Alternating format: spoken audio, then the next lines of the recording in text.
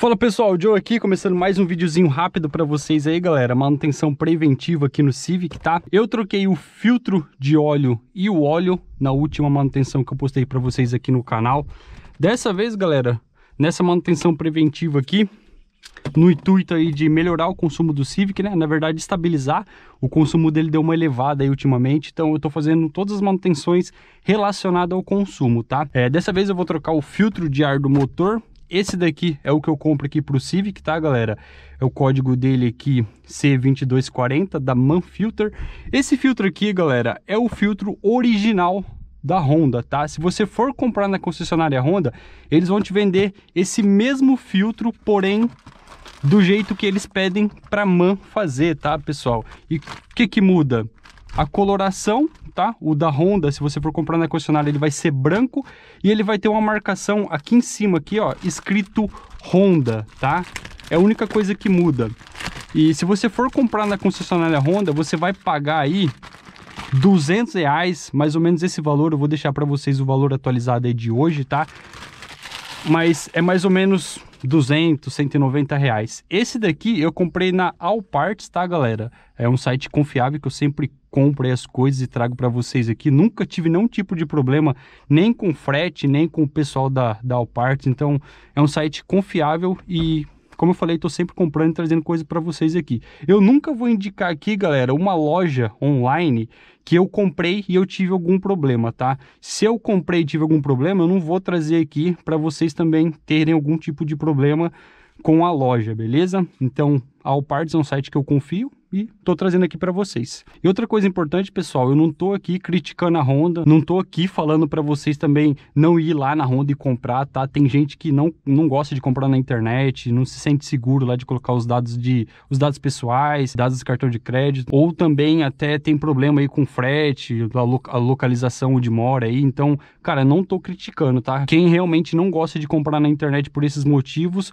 compra na concessionária sem problema. Eu compro coisas na concessionária concessionária, tá, galera? Coisas que não vale a pena comprar na internet, eu vou lá e compro na concessionária Honda, beleza? Então, ficou claro aqui, né, galera? Bom, para trocar isso daqui, pessoal, é, não tem segredo, né? Vou abrir aqui o motor do carro.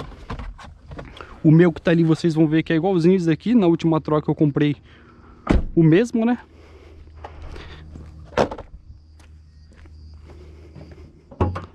Você vai abrir o motor, sem segredo. O filtro de ar do motor fica aqui dentro. Tem quatro travinhas aqui para você soltar, tá? Você solta com a mão mesmo, só vir forçando aqui. Aqui do lado tem mais duas. Ó, soltei as quatro, pessoal. Eu sempre tomo cuidado com esse chicote aqui, tá? Eu nunca forço muito para não acabar estourando esse chicote, ó. Tirou aqui, eu jogo ele mais ou menos assim, ó. Deixa ele aqui para não forçar o chicote. Aí, ó, esse é o velho, tá, galera? O usado. A única coisa que eu consigo notar aqui é que esse daqui, ele é mais... É, tá mais verdinho, né? Esse daqui, como tá usado, ó, ele já tá mais escuro, tá vendo? Ele tá mais sujo. Então, é só isso que muda de um velho para um novo. Você consegue perceber que ele tá mais sujo, tá, galera? Isso é óbvio, né? Você consegue ver a sujeira aqui e tudo. Então, isso daqui afeta o consumo, tá, galera? Tirei o velho aqui, ó.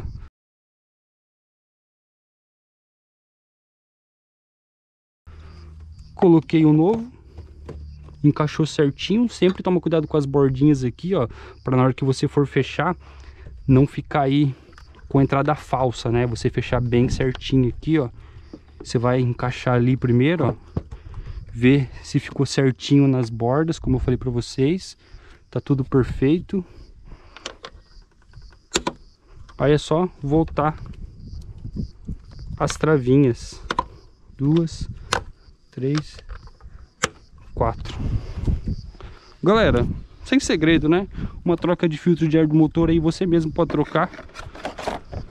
É lógico que se você não quiser fazer isso, leva no seu mecânico, mas como vocês viram, cara, em um minuto, 30 segundos você mesmo faz a troca aí, beleza?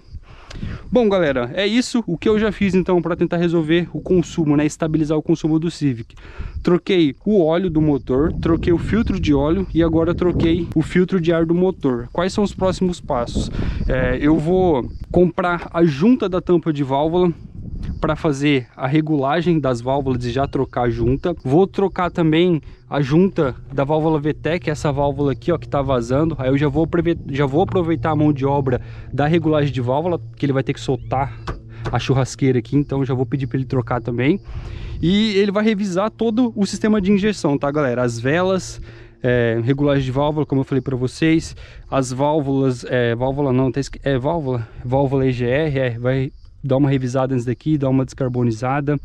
A limpeza da TBI eu vou pedir para ele fazer também, tá? Que já aproveita aqui a mão de obra. Então, esses vão ser os próximos passos, tá, galera? Por enquanto, só óleo, filtro de óleo e filtro de ar do motor. Aí assim que eu fizer tudo, pessoal, eu vou ver se realmente vai estabilizar o consumo do Civic para trazer o feedback para vocês. Se, se, não estabilizar, a gente começa aí dar um olhar, um olhar mais aprofundado aqui, né? No motor para ver se realmente é algum problema a mais, né, galera? Acredito que nem tá pecando muito, é só os pneus velhos aqui, tá, galera? Esses dois aqui são velhos, eu vou comprar já os novos e colocar aqui logo menos, assim que der, né? Eu sempre falo para vocês que eu vou comprar, mas não é assim que funciona, né, galera? Assim que der financeiramente, eu vou lá, compro e é lógico que eu vou trazer vídeo para vocês. Bom, galera, nesse vídeo aqui, como vocês viram, coisa simples, trocar o filtro de ar do motor, sem segredo, né? E é isso, vou finalizando o vídeo por aqui, galera. Falou e até o próximo vídeo.